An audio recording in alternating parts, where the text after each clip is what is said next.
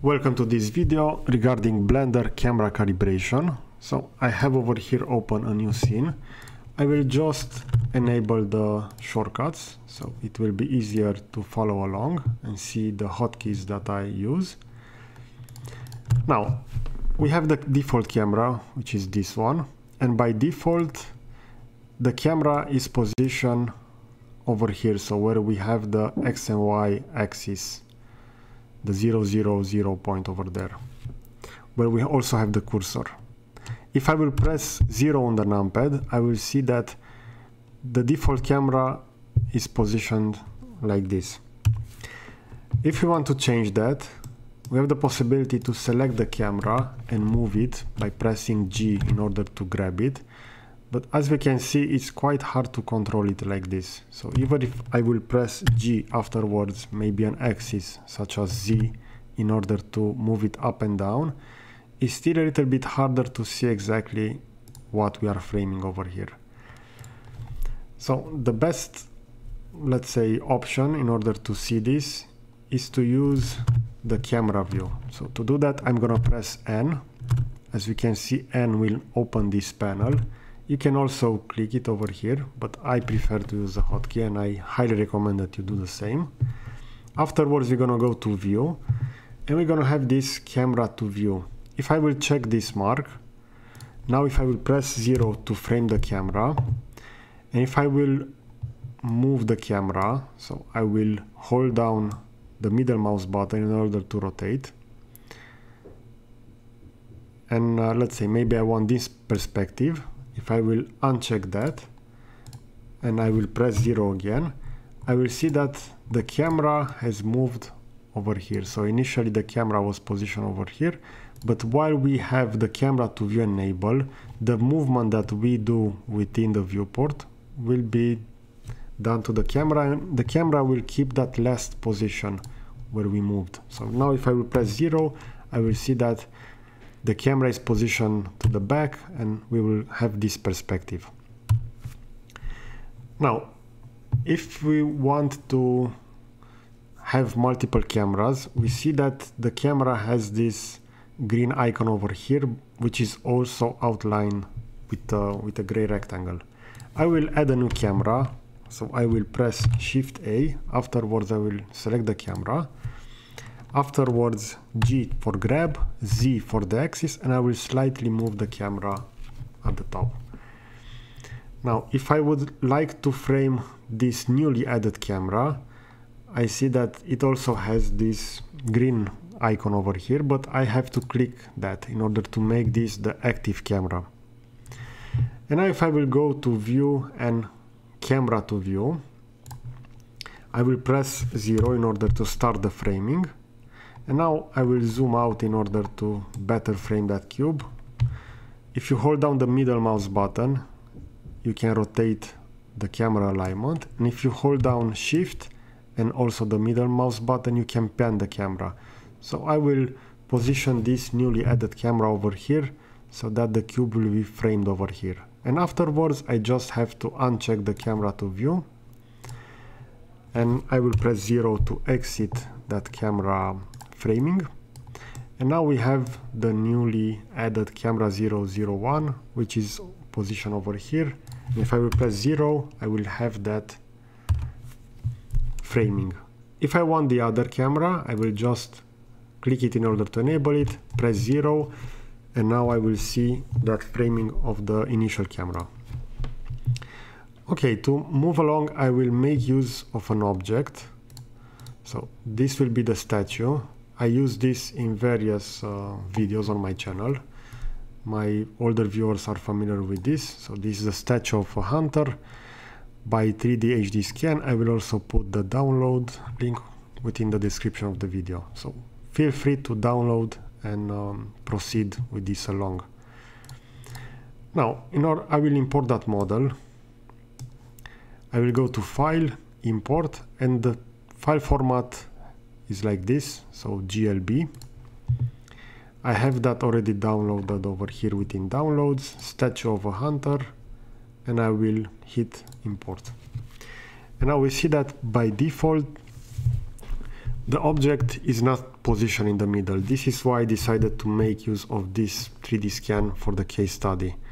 If I will zoom out, I will see that the statue will be positioned all the way over here. Now, there are various workarounds in order to center this, so we can move the object to the cursor, but for this approach, I will show you this workflow. So the model has the axis over here, the axis system. I will expand the model, expand it again until you will see the geometry that looks the same as the cube. So we need this triangle over here. Afterwards, you select that, you hold down the left click, and I will move this to the collection. That means that the object will be at the same level with our cube. And afterwards, if we are just going to delete the plane axes that were added along with the model, the object will move to the origin. So select this Sketchfab model, press delete, and we see that our object has been positioned to the origin. Now, the only problem is that the object is flipped. So in order to flip that back, we also have, uh, so after we deleted one level of axis, I will delete this one as well. So we only want the mesh of the object visible over here.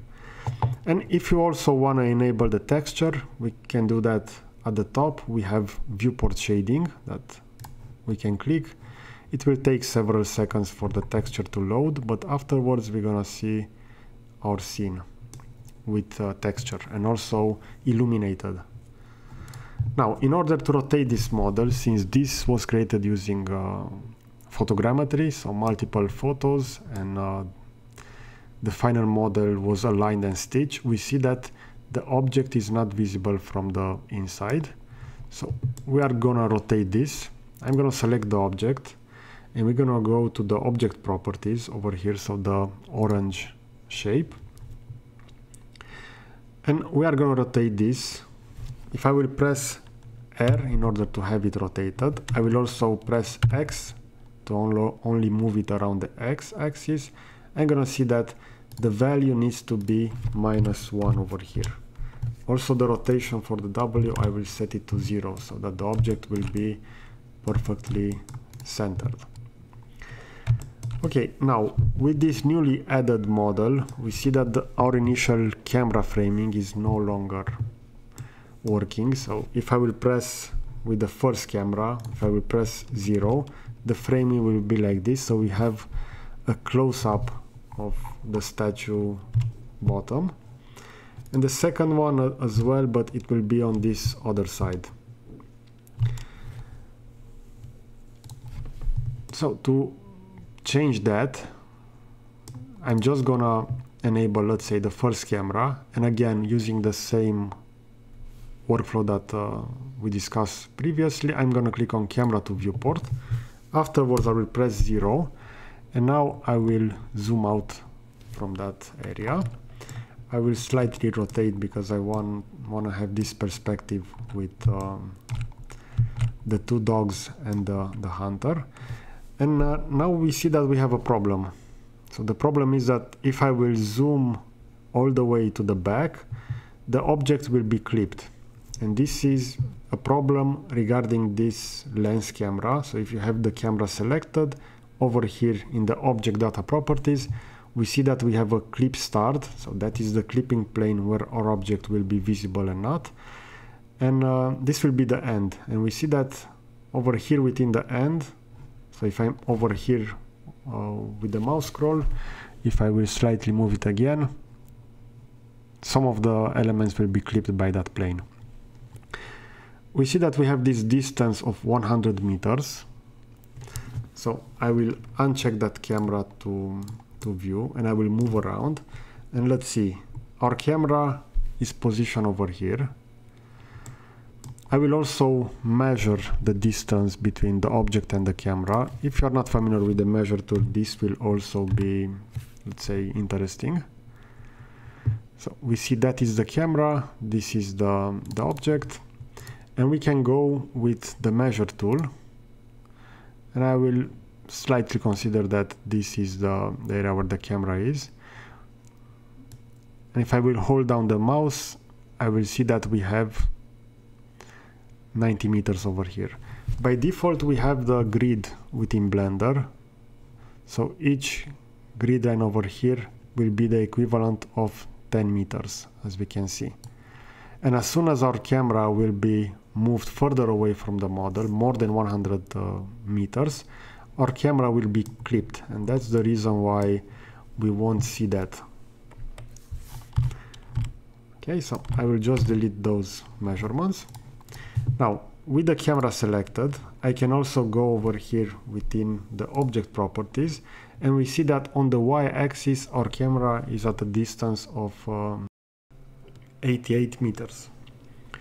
We can also go within the object uh, data properties for the camera and we just need to increase this end value. So there's not much else that uh, let's say other configurations that need to be done. We just need to specify for the camera that the clipping end should be further in the back. So in this case I can go and make this 500 meters. And now if I will press 0 I will see that the camera will frame this this view. Now I will just set camera to view and I will slightly move it.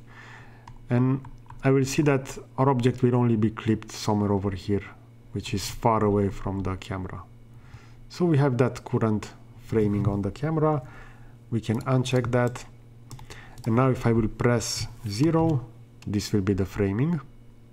And if I want to see the final render of this camera I can just press F12 and this will be that rendering. As we can see we don't have any lights. So our initial light is quite small and in the middle of the statue which is this one. So we have to move that outside. And now if I will press F12 I'm gonna see that there are some slight uh, let's say illumination from that point. So we have the possibility to increase the power of this also to increase the the radius of that now if I will press F12 we're gonna see that the visible radius has changed but we don't have that custom uh, let's say distance for this. So I will slightly make this like 100 slightly increase. Again we see that the custom distance does not influence that power. So since this is a point light. If I will slightly increase this so go to 2000 if I will press F12 now we're gonna see we have a little bit more illumination over there. If we were gonna, gonna go way further 10,000 watts we're gonna see that now our illumination will be bigger in this area. So that is how we can adjust the lighting within the scene. But since this is a video regarding the camera I'm gonna go back to to the camera so if I will press 0, this will be that camera framing. With the camera selected, within the object properties, we can also change the type. So we have the lens type. We see over here it's set to perspective.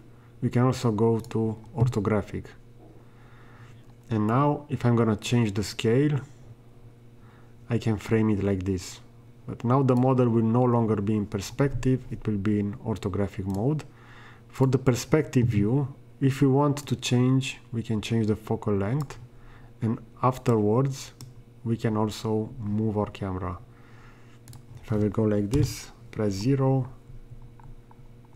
and um, move the camera around, now we see that our focal length is 232 millimeters. And if I will press F12, this will be the render. As we can see everything is in framed but it will use a slightly different focal length. If I will go to 50 it will be like this and I will need to go closer to, to the subject.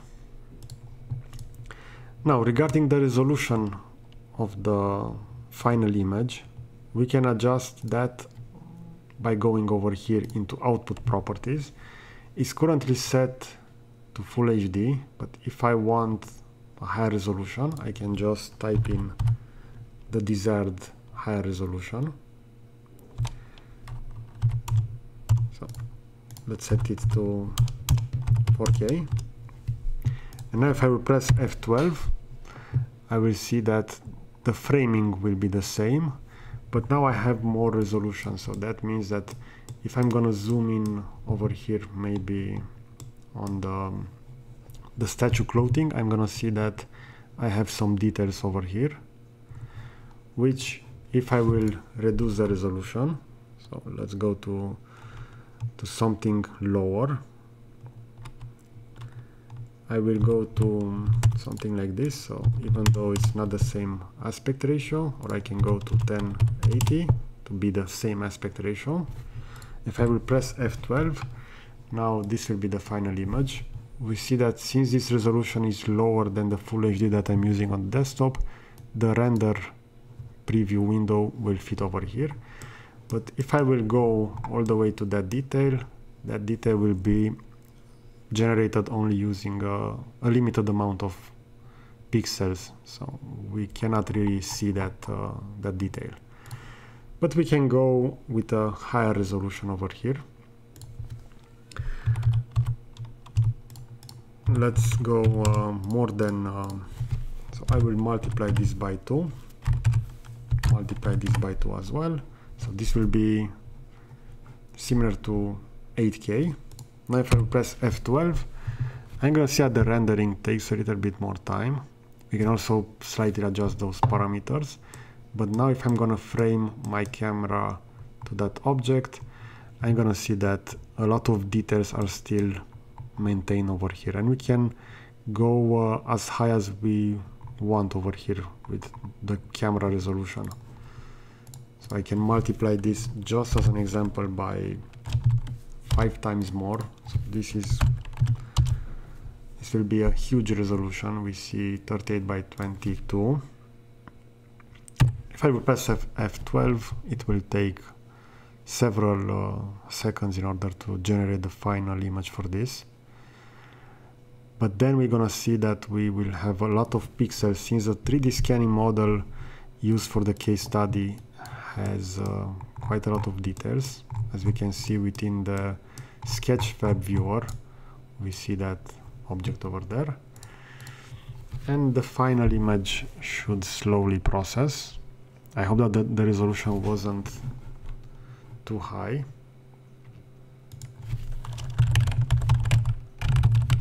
Let me just um, see what will be this resolution so initially we had uh, I will bring in over here this megapixel calculator. So this is the previous resolution that we had and now I multiply this by 5 so we see that over here we can't use that multiplication by 5 but the resolution will be quite high we see that Blender is currently not responding. It should slowly give us that final image. But keep in mind, if you're gonna add such a huge resolution like this one, expect your computer to take a while to process that. So this is quite a, a huge resolution. Let me show you how big is the final resolution in this case. As we can see, this will be 830 megapixels. So this is quite a, a lot. No wonder that um, is struggling. And as you can see we have uh, this error so reported texture limit so the limit size is uh, half of this. Okay so no problem. I'll just cancel that.